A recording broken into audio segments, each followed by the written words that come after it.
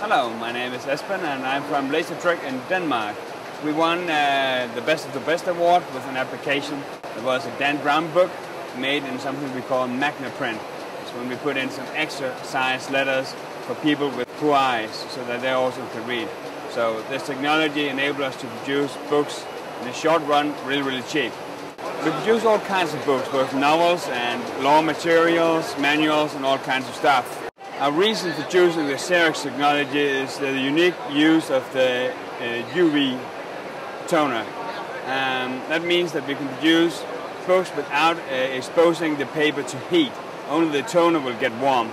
And that means that uh, the paper will keep its moisture so that we can produce a unique flat book um, just like a book printed in offset, even though we go to very low grammage.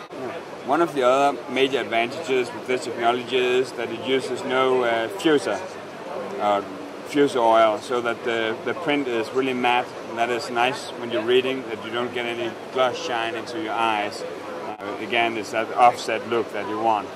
We're also doing a lot of law, law materials, uh, really, really thick books, um, up to 1,500 pages. And in order to put 1,500 pages into a book, the paper has to be really, really thin and um, a, sheet, a, cut sheet press will not do really, really thin paper, not at, at full speed anyway. Uh, the continuous feed press will do down to 40 GSM paper uh, at rated speed, uh, which means that we can produce these, well, Bibles basically.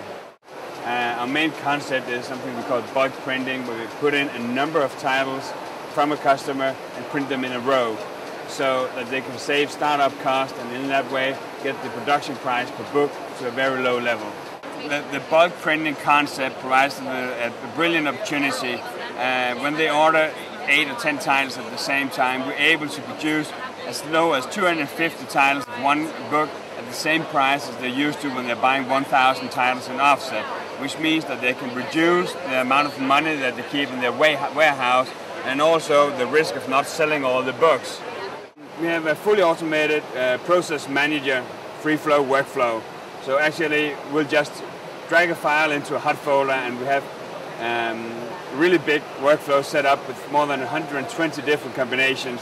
So it would end up with a completely uh, optimized uh, file for, for the CF1300. We uh, started up from scratch one year ago, so we had no volume at all, and today we're doing equivalent of 350,000 A4 pages per day. It's an unique opportunity for us to target the market for professional publishers. Uh, they want to have a professional output and, and this machine will provide that.